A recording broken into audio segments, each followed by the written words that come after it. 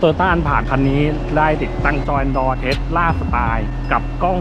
360 องศาแบบซุปเปอร์ 3D ไปติดตามชมกันเลยดีกว่านะครับ ว่าจะเป็นอย่างไรในรีวิวนี้นะครับ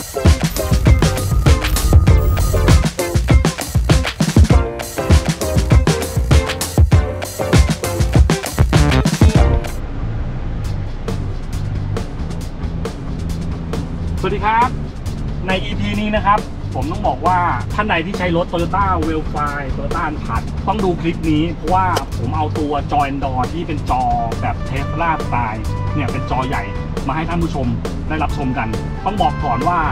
ในส่วนตัวผมใช้รถอันผ่าที่ซื้อมาทำรีวิวอยู่เนี่ยนะครับตอนแรกผมก็มีความกังวลว่า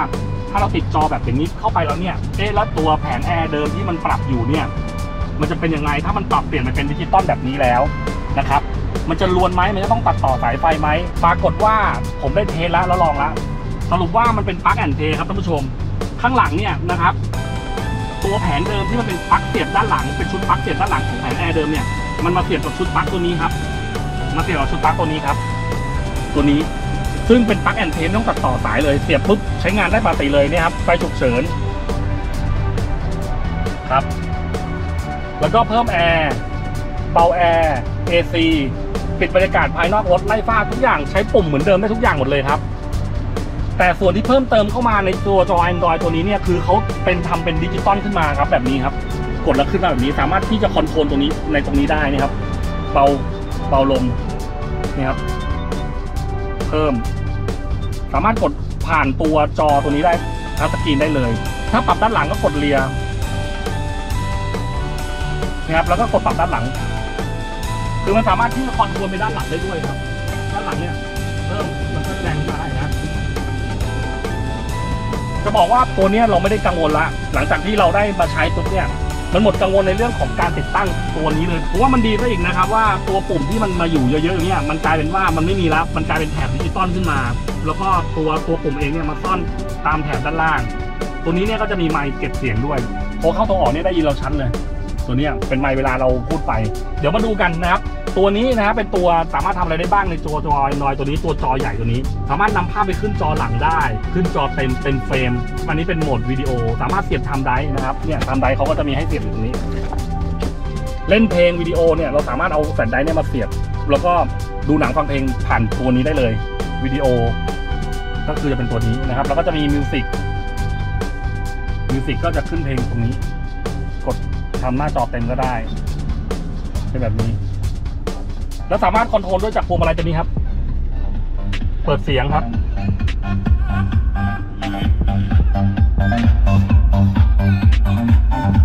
แล้วเสียงเนี่ยเขาจะแยกอีควอไลเซอร์เขาจะแยกนะครับ เนี่ยเพลงเขาตั้งมาเนี่ยลำโพงเนี่ยเสียงไปไฟเฟสฝั่งนี้แล้วนะครับ แล้วค่อยไล่มา เนี่ยครับพอร์ตนะครับ แล้วก็ลองไปดูที่ DSP Equalizer เนี่ย เนี่ยครับ อย่างที่บอกครับว่ามันสามารถปรับ แต่งเสียงเบสแต่งเสียง Equalizer ที่เป็น balance ซ้ายขวาได้ ปรับได้หมดทุกอย่างเลยเนี่ยนะครับ เข้าให้ดูเนี่ยครับ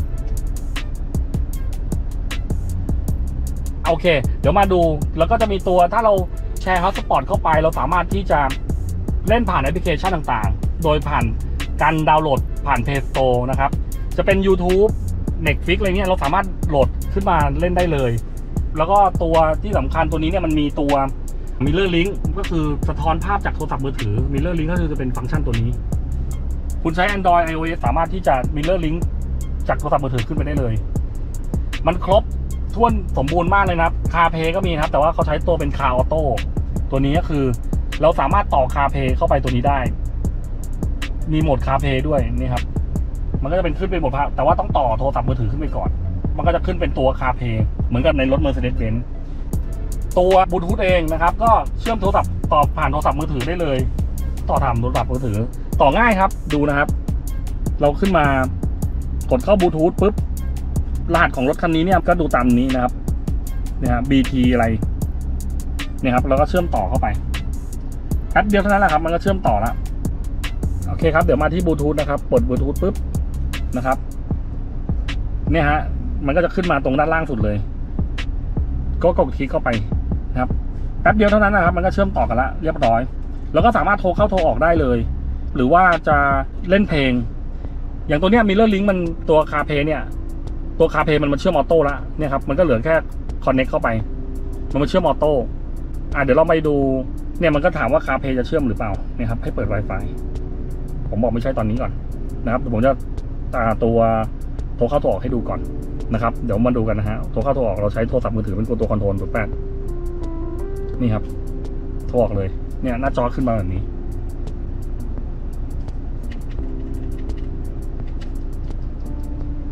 ฮัลโหลค่ะ อ่า ได้ยินเสียงชัดไหมครับ ได้ยินชัดเลยค่ะ โอเค เนี่ยครับ อันนี้คือการคุยโทรศัพท์มือถือ โดยที่เราไม่ต้องรับขึ้นมา ก็ปลอดภัย สามารถที่จะขับรถไปแล้วคุยไปได้เลย อะเดี๋ยวมาดูนะว่า ถ้าต่อบลูทูธแล้วเนี่ยเราเราอยากจะฟังเพลง เราก็สามารถที่จะเปิดเพลงได้เลย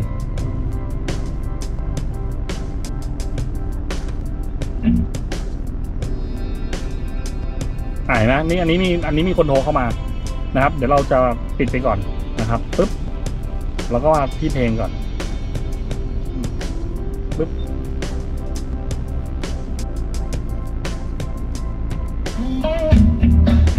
เนี่ยครับก็คือเปิดเพลงจากโทรศัพท์มือถือแล้วฟังเพลงได้เลย แล้วมาปรับที่คอนโทรลพวงมาลัยตัวนี้ได้ปิดเสียงโทรเข้าโทรออกใช้งานได้หมดเลยนะครับ ปุ่มตัวนี้เนี่ยครับ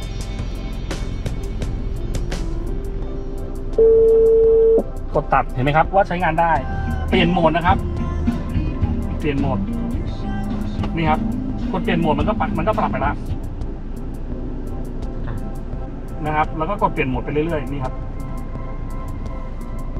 เนี่ยอันนี้มาเป็นโหมดสัญญาณอัพต่อผ่านทีวีดิจิตอลเราก็สามารถที่จะดูทีวีได้เนี่ยครับ แล้วก็ใช้รีโมทคอนโทรลได้เหมือนเดิม เปลี่ยนช่อง เนี่ยครับเนี่ยฮะก็รับชมทีวีได้เหมือนเดิม และอีกอย่างหนึ่งนะครับที่เราบอกว่าเป็นตัวจอ Android ที่เรามาจับคู่กับตัวกล้อง 360 องศา ที่เป็นซูเปอร์ 3D ซึ่งพอมาจับคู่กันเนี่ยนะครับแล้วมาใช้งานกับตัวจอใหญ่ๆแบบนี้มันน่าใช้มากๆครับท่านผู้ชมเดี๋ยวมาดูกันนะฮะว่าซูเปอร์ 3D เนี่ยความคมชัดรายละเอียดภาพที่บอกว่ากล้องเป็นกล้องโซนี่ทั้ง 4 ตัว มีความคมชัดเท่าไหร่นะครับเริ่มจากการถอยรถก่อนนะครับมาดู เนี่ยครับพอถอยปุ๊บนะฮะภาพก็ตัดมาที่กล้องถอย ฝั่งขวาเนี่ยจะเป็นมุมมุมบน ผมก็จะถอยไปด้วยเลยนะครับ จะได้เห็นว่ามีความเคลื่อนไหวเนี่ยครับ การต่อภาพของเขานี่ชัดมากเหมือนเสมือนกับถ่ายจากดาวเทียมลงมาเลยนะ เห็นไหมว่า มันสวยมากนะครับหนึ่งคือภาพคมชัดสองคือการต่อภาพที่เนียนมาก อันนี้คือกล้องถอย เราใส่เกียร์เดินหน้าปุ๊บกล้องมันก็ตัดมากล้องหน้าแบบนี้ แล้วถ้าเราตบไฟเลี้ยวซ้ายมาดูนะ อย่างที่บอกว่ากล้องเป็นตัว 3D เนี่ยมันจะเห็นภาพรอบคันเลย เห็นภาพเป็นเป็นมุมของรถเลยเห็นไหมเนี่ยครับเป็นมุมรถ ขนาดตัวเงาเองเนี่ยนะครับ ยังสะท้อนมาเหมือนเป๊ะแบบนี้เลยนะครับเป็น 3D เห็นไหมครับว่า คือตัว 3D เนี่ยมันมีมันมันมันดีตรงที่ว่า เวลาเราเลี้ยวซ้ายเลี้ยวขวา หรือว่ามีรถมาข้างหลังในจุดบอดที่เรามองไม่เห็นเนี่ย เราจะเห็นเราจะเห็นเราจะได้ไม่ชน เขาจะได้ไม่ชนเราเราจะได้ไม่ชนเขา มีความระมัดระวังกันนะครับอันนี้คือข้อดีของตัว 3D นะครับเห็นไหมว่าชัดมากนะครับ อันนี้คือเลี้ยวซ้ายแล้วถ้าเลี้ยวขวานะครับ มันก็มันกล้องมันก็จะสลับมาฝั่งนี้เห็นไหมครับ อันนี้เลี้ยวขวา ก็จะชัดแบบนี้เนี่ยตามเงามันก็ตามรถมาเลยเห็นไหมคือมันเหมือนมากนี่นี่ครับ ดี๋ยวเรามาดูแล้วตัวนี้มันคอนโทรลด้วยไอไดก็คือตัวนี้ ซึ่งตัวไอไดเนี่ยมันสามารถที่ไปแปะตรงตรงไหนก็ได้ที่เราถนัดแต่ที่ผมให้ดูก่อนนะครับไอไดเนี่ยมันสามารถปรับได้ปรับเลือกฟังก์ชันเป็นตัว 3D กดคลิกเข้าไปนะครับ มันจะหมุนรอบคันเลยนี่ครับ เห็นรอบคันเลยอันนี้ผมขับไปด้วย ให้ดูไปด้วยนี่ครับเสมือนจริงทุกอย่างนี่ฮะ 3D แล้วก็สามารถที่จะปรับมุมเองได้นี่ครับเลื่อนมุมเองได้ปรับหมุนหมุนหมุนหมุนนะฮะเลื่อนมุมเองได้ คราวนี้เดี๋ยวเรามาดูมุมด้านอื่นกันเนี่ยครับ ตัวนี้ก็จะเป็นมุมด้านหน้าที่แบบว่ามุมกว้าง มุมด้านหน้า เป็นมุมแคบ อันนี้มุมด้านหลัง หลังกว้าง แล้วก็จะมีมุมบน ในฝั่งนี้รอบคัน มุมแบบอ่า 2D นะครับ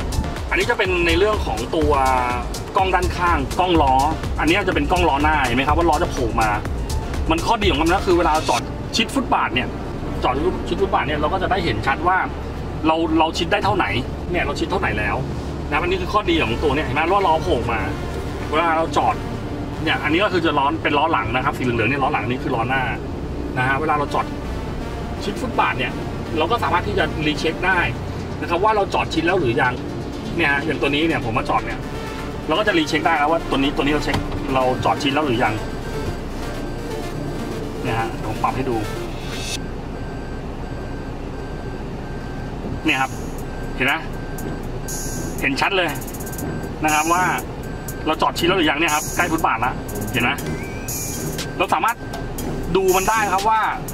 เราจะจอดได้เท่าไหนที่ปลอดภัยให้ล้อไม่ขูด เนี่ยครับ เห็นไหมครับ แล้วก็จะมีล้อหน้าล้อหลังแบบนี้นะฮะเนี่ยครับ คือต้องบอกว่าต้องมันเหมาะกับสำหรับคุณผู้หญิงคุณผู้ชายที่อยากจะเวลาเราถอยรถแล้วมันได้รับความสะดวกสบายมากนะ เวลาถอยจอดที่แคบๆอะไรเงี้ยนะอันนี้เป็นมุมหลังเนี่ยมุมหลังก็หมดแล้วนะครับ อันนี้คือสามารถที่จะอ่าแล้วแต่ละมุมเนี่ยเราสามารถกดคลิกเข้าไปได้อีกด้วยนะครับ อย่างเงี้ยครับมุมนี้มันก็คลิกเข้าไป กลับมาที่มุมนี้ อ่ามุมนี้มุมหน้า กดคลิกเข้าไปปุ๊บมันก็จะกลายเป็นมุมมุมหลังอันนี้เป็นมือกี้เป็นมุมหลังนะครับ แล้วก็เป็นมุมบนกดคลิกกดคลิกเข้าไปอย่างนี้ อันนี้มุมหน้านะ กดคลิกเข้าไปปุ๊บมันก็เป็นมุมหน้าแบบนี้ แล้วก็ที่สำคัญกล้องตัวนี้เนี่ย มันสามารถบันทึกรอบคันเนี่ย ตอนที่เราขับ ตอนที่เราขับเลย ก็คือมันปลอดภัยมาก ถ้ารถเข้ามาในมุมไหนเนี่ยเราเห็นชัด เพราะเราลงบันทึกได้รอบคัน และที่สำคัญอีกอย่างหนึ่งก็คือ ตอนที่เราไม่อยู่รถมันก็บันทึกเป็นวงจรปิดให้เรา สมมติเราลงจากรถเนี่ยในห้างเนี่ยมีใครแม่งมาถอยชนเรา หรือใครถอยมาชน เดินหน้ามาชน หรือชนข้างหรือใครมาขูดรถเราเนี่ย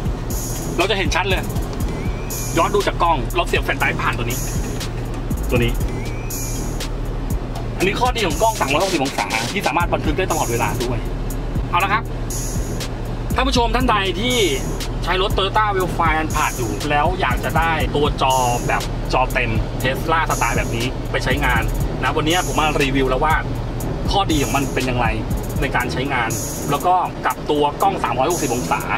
ท่านผู้ชมท่านใดที่สนใจก็ลองศึกษารีวิวของผมดูดีๆ แล้วก็ท่านใดที่สนใจก็สามารถติดต่อสอบถามได้ แล้วก็ฝากกดไลค์กดติดตามในช่อง YouTube เฮียรีวิวด้วยนะครับสำหรับใน EP นี้ลากันไปก่อน เจอกันใน EP ต่อไปนะครับ สวัสดีครับ